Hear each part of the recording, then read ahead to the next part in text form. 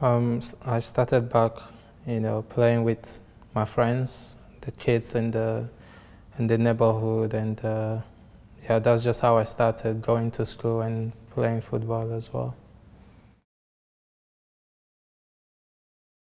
Yeah, I would say my, my elder brother because um, back then when we were growing up and playing football, you know, he he used to be very good, and uh, every time I play, I wanted to to play better. And also watching the national team, each time I go to the stadium to watch, you know, I feel I want to. This is what I want to do.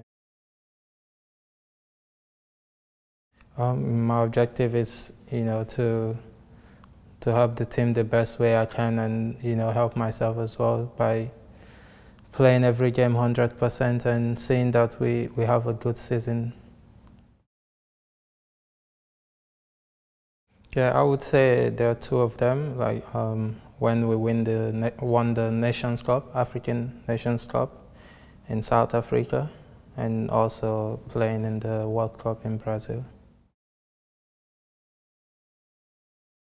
I would say uh, most of the players actually, you know, Chichi, Apo, you know, Oscar, Castro, a lot, everyone is friendly here, so it's not difficult to differentiate between them, you know.